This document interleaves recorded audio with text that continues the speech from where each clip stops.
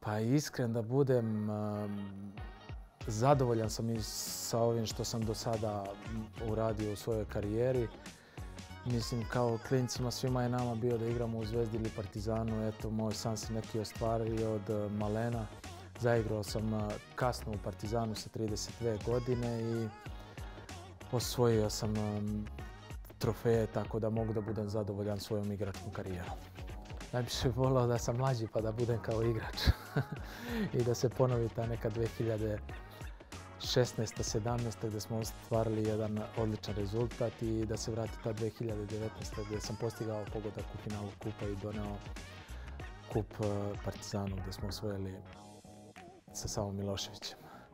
A voleo bi jednog dana da postanem trener Partizana, da li kao šef stručnog štaba ili pomoćni trener, mislim da bi, da bi mi to velika želja bila. Najdraži trofej u karijeri, naravno, ta dupla kruna 2016-17 i moj pogodak eh, protiv, eh, da kažem, gol protiv Vojvodine u Novom Sadu gdje sam dva dana nakon toga eh, dobio čerkicu i trofej kup u finalu kupa 2019.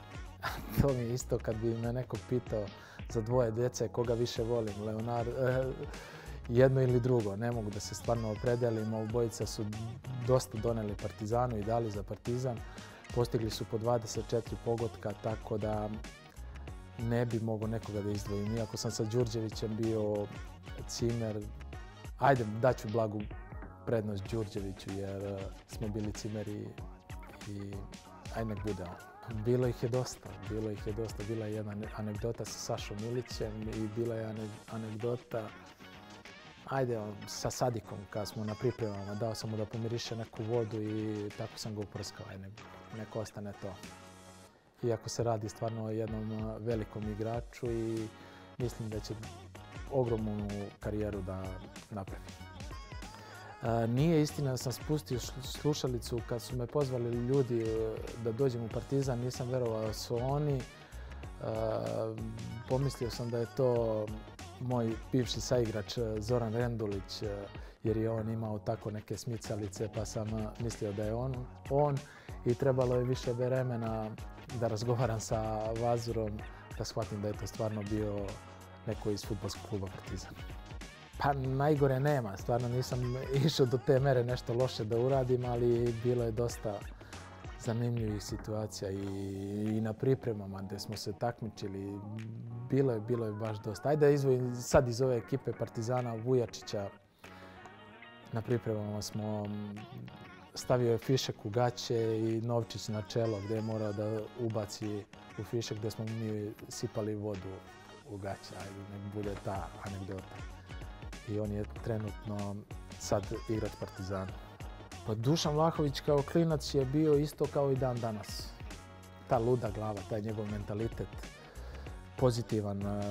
Dosta sam radio sa njim, trenirali smo zajedno, odnosno odvojeno od cele ekipe, možda dva, tri mjeseca smo lupali u naše čuvene table sa našim kondicijalnim trenerom Mišom Filipovićem, tako da, da smo dosta vremena provodili zajedno i, i što je pokazao njegov trud. Ostaje uvek posle treninga sa svim loptama i šutirao je na teleoptiku tamo, verovatno i do mraka. pa život na konjarniku mi se sviđa, pogotovo zbog šumica tamo imamo parkiće i stvarno mi je lepo tamo. Lepo sam se prilagodio, mada mi to ništa nije strano uvek se prilagodi, dobro. A više me startuju navijači zvezde i verovatno zbog poštovanja jer nikad nisam ništa loše izjavio za Crvenu zvezdu i,